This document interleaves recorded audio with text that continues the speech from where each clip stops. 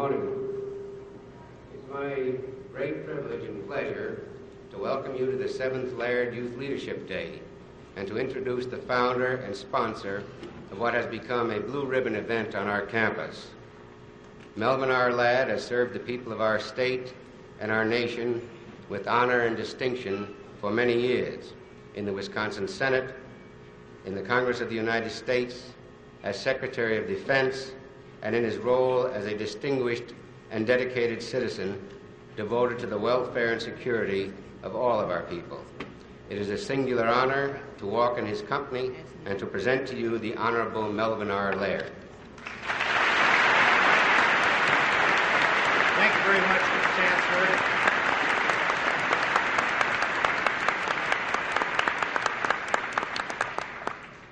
Thank you very much. I appreciate this opportunity to again be on the campus of the University of Wisconsin Stevens Point. I've had many fond memories of the meetings that we've had here over the last 25 years.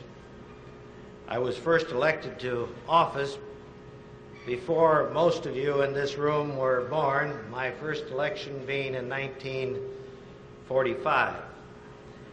And I do appreciate the opportunity always to be here on this campus.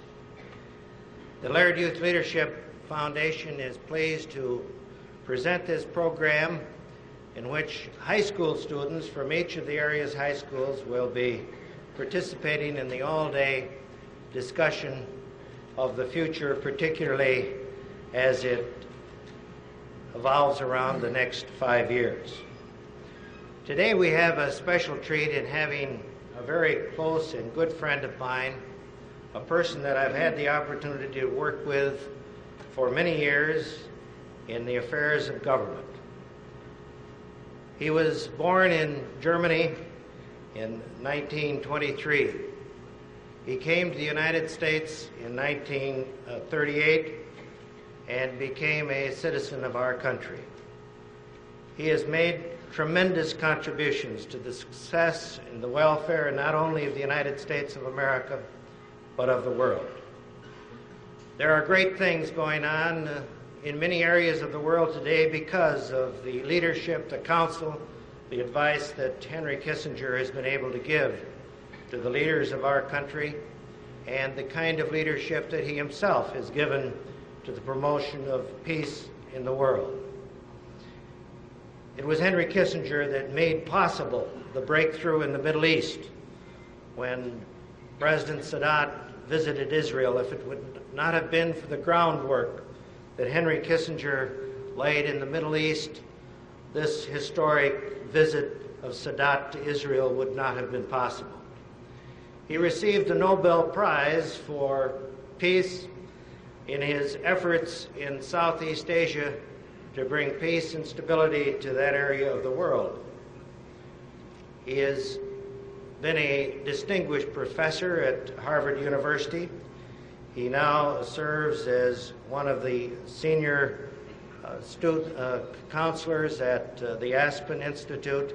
He is chairman of the International Advisory Committee to the Chase Manhattan Bank. He is serving on many uh, boards, including the Rockefeller uh, Brothers Fund, the Metropolitan Museum of Art. But his great contribution has been in bringing understanding to the problems that the free world faces in the decade of the 1960s and 70s, and as we look on to the decade of the 80s. It is indeed a great pleasure and a privilege for me to present Henry Kissinger here, but before I present Dr. Kissinger to you today, I'd like to present the panelists that will be quizzing Secretary Kissinger uh, during the uh, next hour. First, uh, and I wish they would stand, uh, Dr. Jack Oster, a professor of political science uh, here at the University of Wisconsin at Stevens Point. Dr. Carol Marion Wick, Professor of Political Science and an Assistant to the Vice Chancellor, the University of Wisconsin. Bill Hawkinsmith, a senior majoring in political science from Duluth, Minnesota. Barbara Ekblad, a junior majoring in history from Stevens Point, Wisconsin. Mary Ann Coleman, a senior majoring in political science from Fort Lewis, Washington. Dr. Neil Lewis, professor of history at the University of Wisconsin Stevens Point.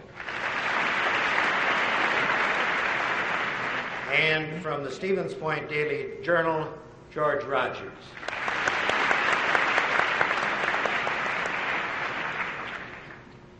And now I present to you a great American, a great leader, a man that has made a tremendous contribution to the future welfare of this country, Dr. Henry Kissinger. And I'd like to ask Dr. Oster to ask the first question.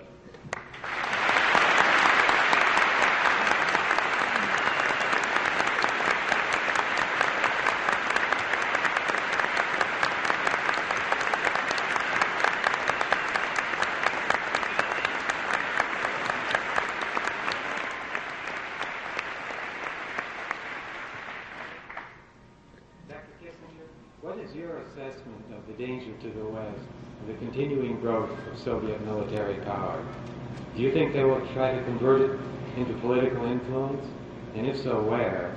And what can or should the United States do to deter it? Before I answer this question, I want to do two things. I want to thank you all for this uh, very friendly reception, which I'm not used to from Harvard students. and uh, I'm a little disappointed that Mel mentioned uh, my German birth because I'm sure you would all have thought that I was speaking with a Harvard accent. I also wanted to say how much I have appreciated uh, working with, uh, with Laird. I must say, coming from a rather sheltered existence at a university to Washington, he was a somewhat novel experience for me. Uh, but I decided if I couldn't lick him, I might as well join him. And uh, the reason I want to pay this tribute to him is because uh, he, it is very relevant to the question that has been asked to me. He was Secretary of Defense during a period when our defense budget was under constant assault, when all the premises of our foreign policy uh, were being questioned, when every military program that we might put forward would pass the Congress, if it did at all, by one vote or by a tie vote, which the Vice President uh, would, would have uh, to break in the middle of a war which we inherited and which the people who put us into it then started uh, opposing after they had uh, put it uh, into our hands. Through all this period, uh, Mel helped extricate this country from Vietnam. And moreover, he maintained the basic military strengths and started almost all of the new programs of military development that had been neglected for a long period of time. Nobody who had not had his long experience in the Congress and in uh, the wisdom of how to conduct himself in Washington could possibly have done this. I think the country owes him a tremendous uh, debt for his patriotism and courage and fortitude uh, in, uh, in that period. And I developed an enormous admiration uh, and affection for him. Now, to answer your question, what about the uh, military position of the United States and what will be the consequences? We have to keep in mind that our military position changes as a result of at least two factors. One, as a result of the development of technology, the other, as a result of our decisions. In most of the post war period, the United States had an overwhelming nuclear superiority. Uh, some of that was going to be lost simply as a result of the evolution of technology. And through most of the post war period, the United States could deter attacks not only on ourselves, but on all of our friends, because we always had the capability of a militarily significant strategic nuclear uh, attack. Now we are moving into a new period. In the 60s, deliberate decisions were made by the administration then in office to stop the buildup of our forces and not to develop new uh, weapons. In the period between 69 and 73, we were under murderous assault in the Congress to preserve what we had and to and and uh, to be and to begin new programs was extraordinarily difficult. Then a series of new programs were begun by mostly by uh, uh, Mr. Laird. Then many of those have been cancelled again in the current administration, like the B-1 bomber, the MX missile has been stretched out into the late 80s. All of this is going to create a situation in the early 80s where the United States' ability to threaten the Soviet military forces will have diminished severely. We can still attack the Soviet civilian population and inflict enormous casualties, and therefore I don't think that we will be in overwhelming danger of attack on the United States. But I think our ability, in case of an attack on friendly countries, to threaten the Soviet Union with a military response will diminish unless we reverse our defense policy. Uh, if you add to this the fact that the regional forces are also diminishing and that our naval building program has also been cut back, then you can foresee a situation in the early 80s which will uh, produce an imbalance of forces, especially in regions outside the Western Hemisphere.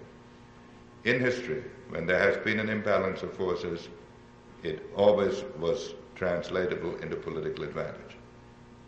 And in, if you're dealing with communist countries, it is bound to lead somewhere to a situation in which the United States will be in great difficulties.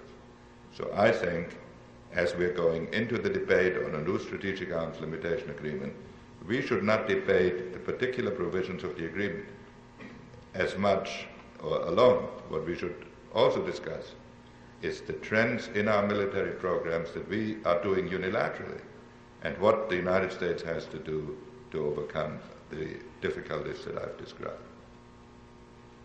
Now, how do we do it? Do I, should we go around the table or go one side? Why don't we do, go from one side to the other? I, I can ask you the next question, Dr. Kissinger. Or have you all agreed among each other how it's going to work? Well, you're following our plan. Um, you've, you have been described by the many people who write about you as a realist and as a pragmatist. Uh, one writer described you as an American Metternich. That was probably me. Probably. um, as a man who, who uh, shifted American foreign policy from ideological confrontation to, to balance of power. Uh, against that background, I'd like to ask uh, what, you, what role you believe moral principles should have in, in foreign policy decisions. I, uh, first of all, I think that's a very important question. Uh, let me answer it in this way. It is important to understand the difference between those who have to conduct policy and those who observe it from the outside. If you are an observer, a journalist, a professor, uh, an academician, then you have the opportunity to pick your subject You can work on it for as long as you want to. Uh, you can put forward the best possible uh, solution, and if it turns out to be wrong, you can go back to the library and write out another book. Write another book. If you are conducting foreign policy, uh, then you have to be conscious of the fact, first of all, that the decisions impose themselves on you. You do not have the time and the leisure to pick your subjects. Secondly, you have the art of policy of policy making is to do the best possible in the given circumstances. Rarely can you do the ideal. The essence of statesmanship is to achieve your objective in stages because you're living in a world of sovereign states and of uh, and you're living in a world of imperf- imperfections. Therefore, the operational problem for any statesman is whether he has the moral fortitude to persevere along a road which is strewn with unsatisfactory compromises. If he insists on perfection before action, he will achieve neither perfection nor action. I say this because it is customary to say something is either balance of power or moral. I would say in foreign policy, you must have a balance of power. You cannot conduct foreign policy without security. If you give up your security, you put yourself at the mercy of other states and you give up your own capacity for decision. But on the other hand, power cannot be an end in itself. And therefore, because if power becomes an end in itself, then all you can do is to keep accumulating power on both sides until it explodes. The no, if you study the lives of great statesmen, all of them have been motivated by very strong moral convictions. You cannot be a good pragmatist unless you also have strong beliefs in your country and in your principles. That is all the more true because when you make a decision in foreign policy, you have to do it on the basis almost of an act of faith. The difficulties in foreign policy arise from the fact that when your scope for action is greatest, your knowledge on which to base such action is at a minimum. When your knowledge is greatest, your scope for action has often disappeared. Most issues come to you in confusion, and you then have to act on the basis of the best assessment that uh, you can make. So I don't accept the contradiction between power and principle, between pragmatism and values. I think without values, you can conduct no foreign policy. Without security, you also can conduct no foreign policy. And the art of policy making is to merge the two. Now, do we go back over here? Yes. Um, Dr. Kissinger, could you briefly outline the differences which the United States and the Soviet Union have on their definition of detente? Well, uh, briefly, I can do nothing. In fact, uh, it caught on to me after three minutes. Uh, well, let me say, let me uh, put it this way. Let me say the Soviet view and the typical American view, because I think our view was somewhat different. And I would like there to go back for one minute to the previous question. I thought, and I still believe, that the biggest problem for American foreign policy was and remains to shift our approach from the abstract ideological one of our history to a more concrete interest oriented one, because otherwise we will be oscillating back and forth between uh, assessments of the intentions of others. You take the issue of detente. Most of the debate about detente in the post war period has concerned the fact whether the Soviet Union has changed its philosophy and whether it is now possible to live with the Soviet Union in sort of permanent, permanent harmony.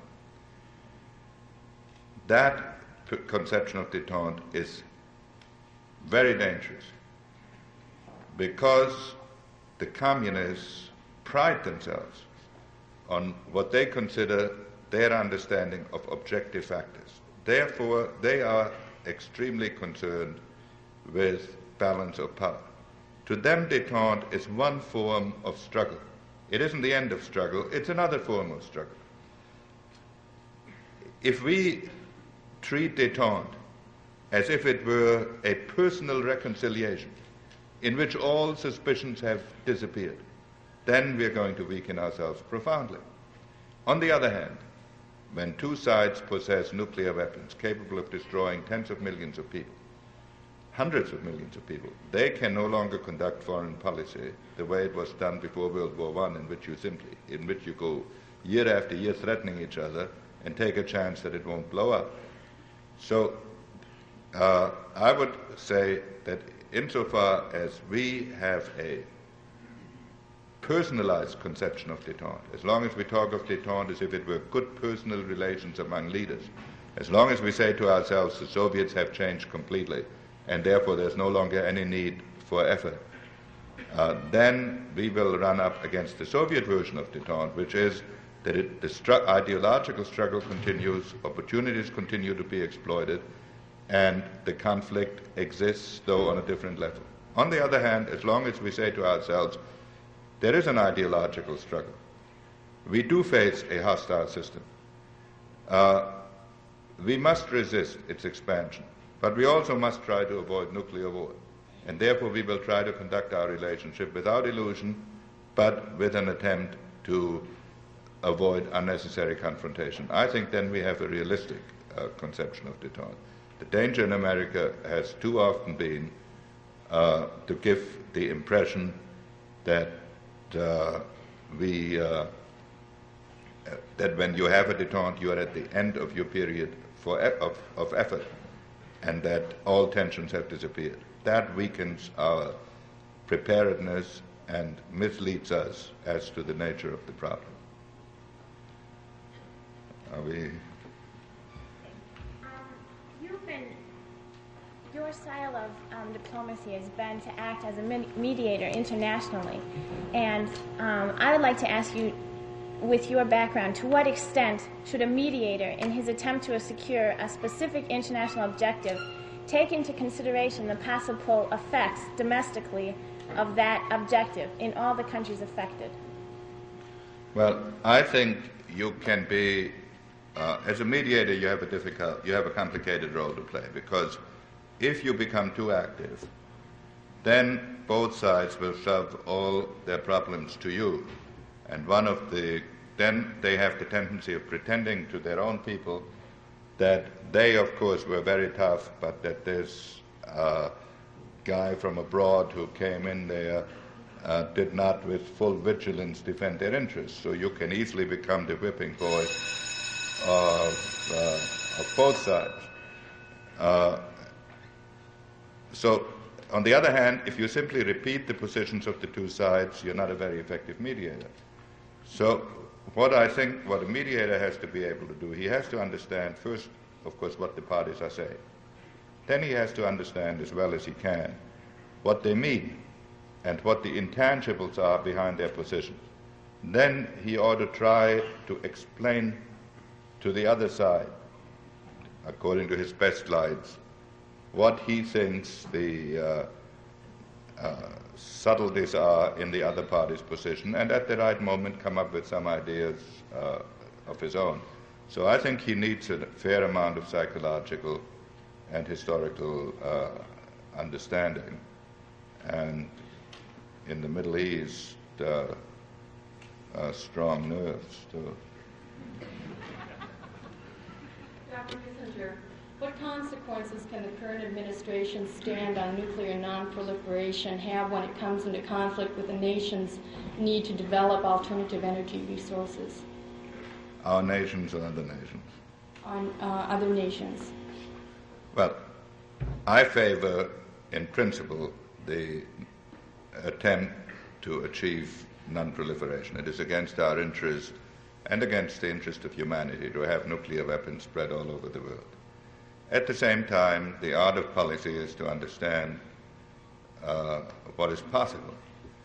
Uh, and here we are dealing in the nuclear field with a number of countries, all our European allies, and Japan at a minimum, that have the capacity to develop a substantial nuclear capability in the peaceful field. Uh, moreover, the, the fact that oil reserves are bound to be exhausted within another generation, the constantly rising prices of oil, the need of, for energy, all of this impel these countries into the nuclear energy field, which is the one obvious substitute for existing sources of energy. Uh, one method the administration has used in order to force these countries to go along with us is to cut off their access to our enriched uranium the, unless they agree with our methods. And at the same time, they tell these countries that they should make themselves dependent on our supply of enriched uranium for the indefinite future. Uh, inevitably, countries will conclude that if we could cut it off once, we can cut it off again. And therefore, I think it is totally unrealistic to attempt to browbeat the Europeans and the Japanese into doing things that they consider to be totally against their national interest. And I think we're better off working out a cooperative relationship with them in which we agree to the fact that they are going to have a nuclear energy program, that this program to some extent will be independent of ours, that they do not necessarily accept our view on breeder reactors and similar things, and see whether we can, together with them, work out an agreement which is also in their interest to, to cut off the spread of this peaceful, of, this tech, of the weapons grade technology before it spreads into the very underdeveloped parts of the world. That, I think, is an attainable objective. It is not an attainable objective to try to get the Europeans and Japanese to put the clock back as they see it. Yes, sir.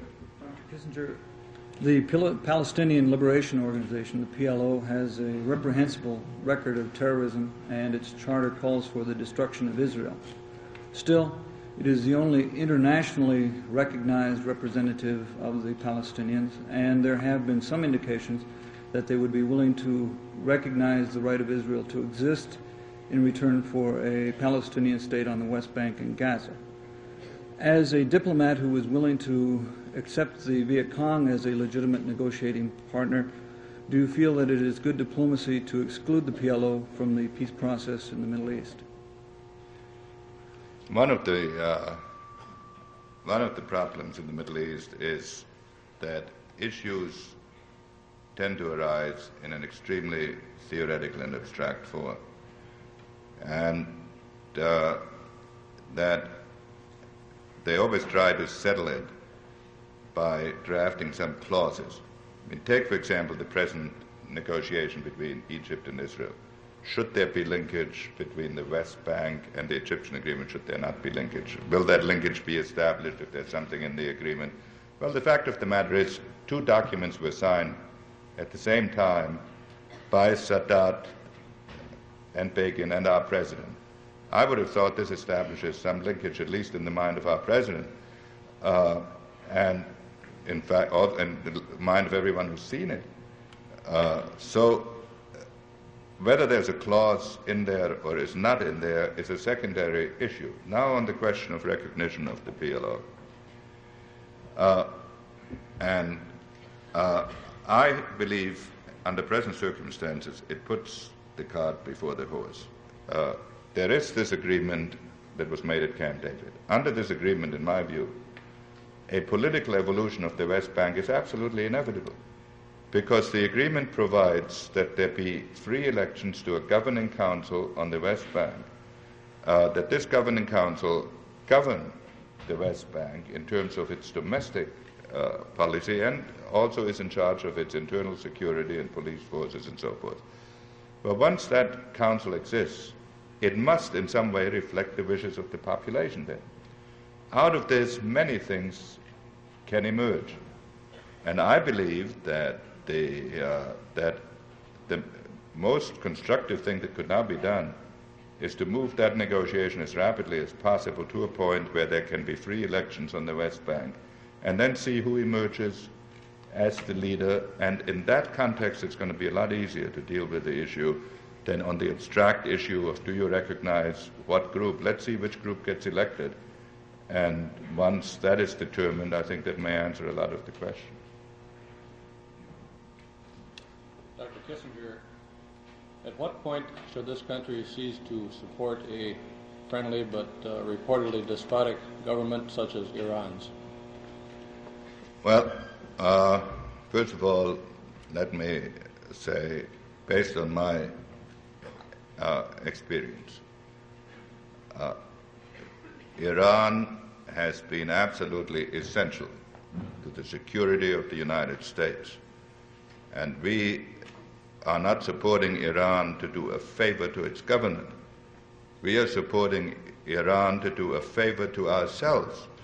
In the 1973 Middle East War, Iran was the one country that joined no embargoes. It was the one country adjoining the Soviet Union that did not permit overflights of its territory for military supplies into the Middle East. It is one country that is spending billions of dollars for its own defense uh, and therefore sparing us uh, that necessity. It is the country that has fueled our fleet whenever we put it uh, into the Indian Ocean, and therefore we ought to give up the idea that somehow or other we are doing a tremendous favor to some country like Iran by having friendly relations with it. If Iran becomes, uh, if the Shah is overthrown, uh, the consequences, not just for us, but for the entire Middle East, will be catastrophic. So we have a profound national interest in it. Second, uh, despotic government. I think it's a much more complex question than this. The Shah has attempted to move his country from feudalism to the modern period in a 20 year uh, time span uh, a process which in Europe took about 250 years, and even over that period of years produced tremendous turmoil in Europe. And the attacks on the Shah come from two directions. They come from those who think he's moving too fast. The mullahs, the traditional opposition, are not fighting for liberalization, they're fighting against liberalization. And he's attacked from the left for not going, uh, for not going fast enough. The alternative to the Shah is not some Western style democratic government. The alternative to the Shah is some form of authoritarian government of either the left or the right. Of course, we, in conformity with our national tradition, should support uh, the greatest degree of freedom. But we also have an obligation to understand the historic conditions in which a society finds itself, with a long frontier uh, with the Soviet Union, a country, a society that has that in 19, as late as 1953, uh, Iran was the first, or 1951 was the American point four eight, which meant it was considered technically so backward that it was among the most eligible countries for the aid going to the most backward nations. Here we are 25 years later, and they're on the verge of becoming an advanced industrial country, and of course, there is tremendous turmoil. I am not happy when I read about all the brilliant advice that we are allegedly giving about coalition government and about this hot idea and the other hot idea. Coalition government between whom and whom? coalition between the right wing and the left wing, who are both agreed on only one thing that they should overthrow the existing structure in times of crisis. Our friends are entitled to a little compassion from the United States. And I can tell you from my experience, when our country's security was in danger, the Shah stood with us. And at this moment, we ought to stay with him and stop these self-righteous lectures.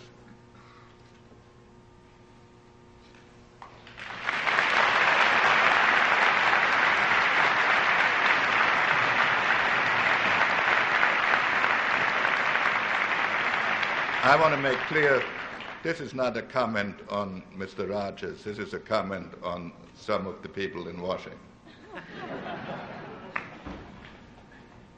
Should the United States policy towards Africa give priority to containment of Soviet-Cuban influence, or shouldn't we emphasize Africa's own priorities, the elimination of racial discrimination and poverty? Well, and could you please relate your reply to the Rhodesian situation? Uh, you know, I, I keep interrupting the question, and there was a cartoon about a de Gaulle press conference in which de Gaulle says, Would somebody please ask a question to my answers? so uh, let, let me go to your question. I think that the distinction, there was an article in, in Foreign Affairs a few weeks ago by a former associate of mine who frankly expressed himself with greater clarity in that article than he did when he still had a chance to affect policy. That's, that's a different matter. But his criticism was that I was concerned too much with East West problems and not sufficiently concerned with African problems. And that we should have seen the Angola issue as an African issue rather than as an East West issue. Now, the fact of the matter is, this is like power and morality. You can't separate the two. Of course, you have to see it as an African problem, but you also have to see it as an East West problem.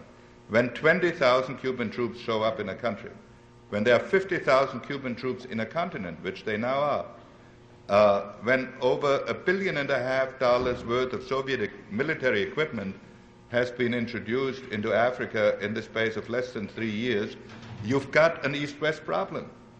When the Shaba province of Zaire was invaded twice within 14 months after the Cubans showed up, and then the Cubans said two totally contradictory things.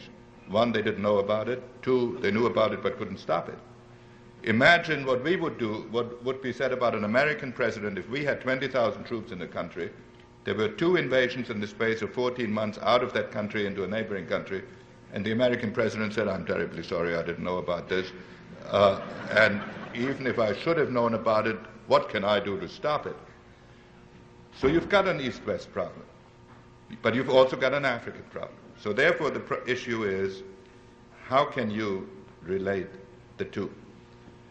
I believe you can relate the two by giving the moderate African leaders a sense that the objectives of black societies can be achieved in an evolutionary rather than in a revolutionary manner, and that they can be achieved in cooperation with us and not, on, not primarily in co- cooperation with the Soviet Union and Cuba. We should not support white minorities against black majorities, but we can insist that black majorities and white minorities live uh, side by side with each other, and that majority rule, just as in our country, implies also protection for minority rights. That is what we should attempt to achieve in Rhodesia. On the one hand, the tr- transition from white minority rule to black majority rule, but to do it under a constitution and under a system in which the two races can continue to live, uh, to live side by side uh, to the economic benefit of both. And the reason that is so important is twofold. If we follow the line that some people advocate, that we should support the radical program in order to cut off the water of the other side, we will be on a, uh, we will be on a road that uh, will have no end because uh, we will be uh, driven in a constant, into a series of constantly escalating demands that can only end in chaos. Secondly, we have to face the fact that in Rhodesia there are only 250,000 whites. And it's no great achievement for Britain, the United States, five surrounding countries, the Soviet Union, and Cuba between them uh, to finish off 250,000 people in Rhodesia. The real, and together with the black leaders who want to come to power by the ballot rather than by the bullet. The question is when you come to South Africa, where you have four million, And it cannot be in our interest to conduct a policy that encourages a race war in South Africa. It must be in our interest, on behalf of all of the people, to bring about a solution in which the, uh, in which the system of apartheid is, is abolished. We must always oppose that. But at the same time, in which the black and the white races live together, and in which this is achieved without war. Because once you have a war in South Africa, uh, it will have even consequences in our own country, and uh, it has profound consequences for us internationally. So, what I would like to see happen in Rhodesia is for the United States to take a somewhat more tolerant view of those black leaders inside Rhodesia that have said that they want to organize an election, and not to throw all our weight behind those people who want to come to power by uh, Russian guns and Cuban uh, instructors. I'm not saying we should back one side or the other, but we should be a little more understanding of those, uh, of those rulers. Secondly, we should encourage a transition to majority rule, uh, using our influence in this direction, but also for the protection of minority rights. Third, we should in South Africa uh, use our influence to end the system of apartheid, but also to give the white population some hope that they can continue to live in a country to which they partially uh, built. This is less dramatic, uh, but it is uh, one that is consistent, I think, with our values, and it will spare the peoples of the world enormous suffering and sacrifice which a race war would produce. Dr. Kissinger, it's, it's now almost six years since you negotiated the, the end of the American war in Vietnam. Uh, I, I'd like to know if you're able at, th- at this point to uh, draw any conclusions about the more lasting and uh, uh significant results of that whole period of our involvement there. The first thing you have to remember is that when Mel and I came into office, we found 550,000 troops fighting 10,000 miles away, and casualties were running at the rate of four to 500 dead a week. That's what we found. That's what we inherited. Now, when you do that, and when you are the strongest country in the free world on whose security others depend, you cannot simply turn this thing off like switching to another television channel. Five other nations had 80,000 troops in Vietnam on top of ours at our request. So our problem was how to extricate ourselves from that war without losing America's honor and America's credibility and the faith other people have in the United States. And while at that time there were a lot of people rioting outside the White House, there were not there were no foreign leaders from the non-communist world who were telling us just bug out of there. Now, of course, one lesson we ought to learn is when we go into a war, we should either win it or not go into it. That is the basic lesson. Uh, I must tell you, one basic lesson that I took away from Washington is you get no awards for losing with moderation. If you uh, you don't have to commit your forces, and you should do it very prayerfully. But if you do it, you ought to prevail. Uh, now, we took over at a time when that option had already been written off. We then extricated ourselves over a period of four years. I believe that the pro- program of Vietnamization, of which Mel Laird was one, was perhaps the principal original architect, and which we all supported strongly, I think that worked. And I think the South Vietnamese people would, have, would still live under a non communist system, except for the fact that as a result of Watergate and our domestic divisions, the congressional appropriations were cut uh, each year by 50%, so that, and laws were passed which prevented any threat even of military support. This enabled the North Vietnamese to put their entire army into the south. When they made their final assault on South Vietnam, they have 20 divisions, 19 of them were in the south. So I think we achieved what could be achieved at that time, which was to extricate ourselves from that war with decency and honor, in the sense that we did not overthrow the people who had put their faith in America in a previous administration, whom we could easily have blamed for the mess. Uh, we did not succeed in preserving the freedom of that country. We probably should not have gotten involved to begin with. We certainly cannot never again afford the kind of domestic division with which we tore ourselves apart between 1970 uh, and 1974. It was a national tragedy uh, in which all Americans suffered and nobody won. Dr. Kissinger, I think we have time for just one more question. All right, we'll take one more question. Um, Dr. Kissinger, do you have any political ambitions in the near future? I'm uh, more interested in hereditary office than in elective office.